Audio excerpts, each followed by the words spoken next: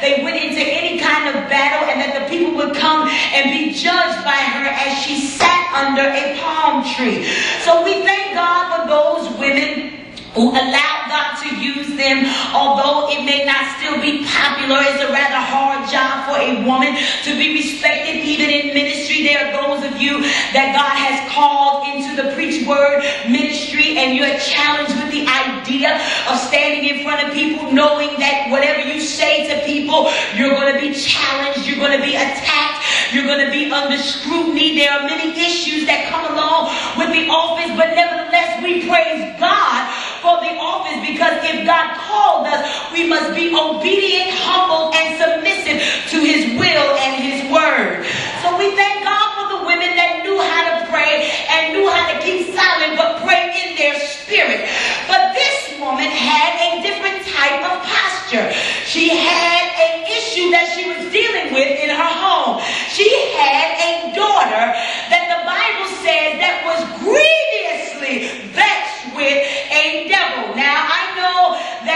uh, the year 2009, some of us in church have not been accustomed to demonic activity. But me growing up